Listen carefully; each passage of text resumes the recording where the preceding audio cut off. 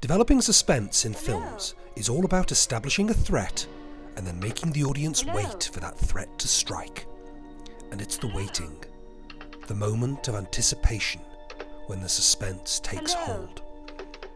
It's why so many horror movies establish the killer in the opening sequence. What's your favorite scary movie? The audience needs to feel that, at any moment, something they have seen but don't fully understand could jump out and get you. Why do you want to know my name? I want to know who I'm looking at. What did you say? I want to know who I'm talking to. That's not what you said. So let's take a look at how some of the masters of suspense have done this. In this scene from Alfred Hitchcock's The Birds, the audience has already been shown the threat earlier on. Birds are attacking people. We don't know why. We never know why. It doesn't matter. Any bird is a potential threat, and lots of them together spell disaster. In this scene, we see Tippi Hedren. The main edit that is used is cross cutting. Hitchcock establishes a natural rhythm of short shots of the birds and a short shot of Tippi Hedren. Through a series of shots, we cut back and forth between her smoking a cigarette and the birds on the climbing frame. She smokes. Some birds arrive. She smokes some more. Some more birds arrive. We get used to the rhythm.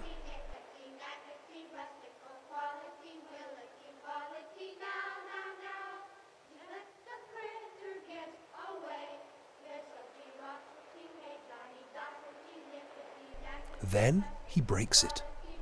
We linger on Tippi Hedren for way too long. We have no idea what is going on with the birds, but we can guess. The creepy singing of the choir gets gradually faster and faster and faster. This is the moment of suspense. We know they are gathering, we just don't know how many. And then, finally, the cutback.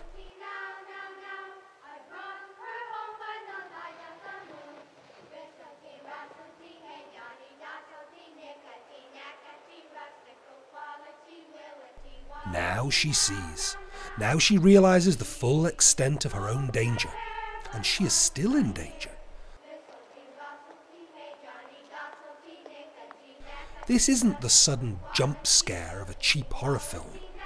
This fear is earned, which is why it stays with us for longer. All right, children, now please put your songbooks away, then stand up alongside your desks. We'll go out to recess as soon as everybody gets ready. The moment of anticipation is something that Steven Spielberg took a lot from Hitchcock's films. As we can see in his 1975 breakthrough movie Jaws. And as with the birds, the threat has been established in the opening to the film. There's a shark out there. It's big. If you're in the water, you're pretty much in harm's way. And these guys have gone out to catch it. 12 minutes, south southeast now, full throttle. Aye, aye, sir. Arr, Jim boy, arr. The framing of this shot puts the fishing reel large and in the foreground. We know it's going to be important.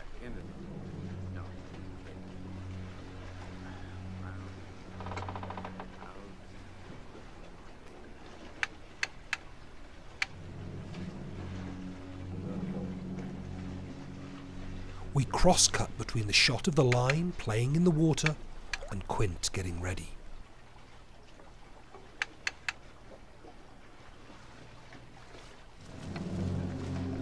Quint's movements are slow, deliberate. We are never told it, but we pick up on how quiet he's trying to be, so as not to scare the fish off. Something is on the bait.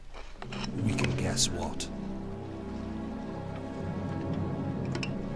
We see Quint slowly and deliberately hook himself into the rod.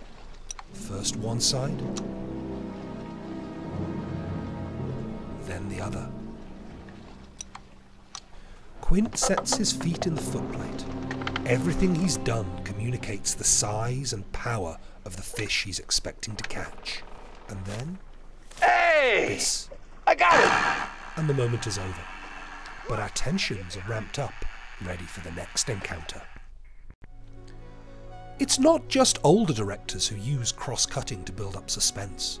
In David Robert Mitchell's It Follows, the threat is established early on. There is an entity. It can take any human form. It could look like someone you know, or it could be a stranger in a crowd. and it's coming for you. Whatever helps it get close to you. But only the person who it's coming for, and the audience of the film, can see it.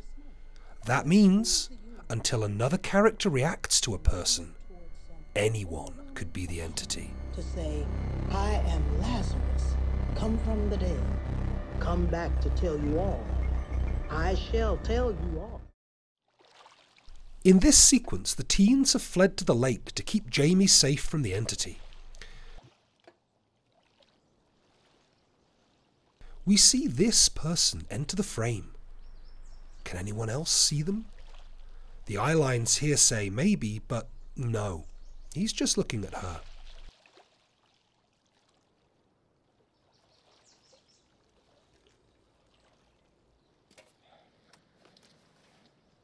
We cut back to Jamie. This person is still very small, very far away. Surely they're no threat. Surely someone else will see them.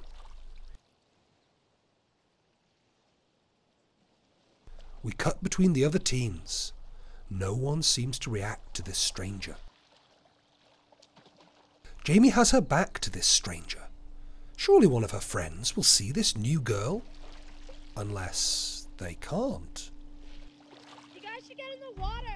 This framing shift allows the new girl to get much closer than we could see in the other shot. Somebody can see her and will say hello to her any minute now. Oh my god! Help me! Jay, what is Terrifying. it? Help! So remember, if you want to build suspense, you just need three things establish the threat early on, make the audience wait to see that threat again, and use cross cutting to draw the moment out as long as you can.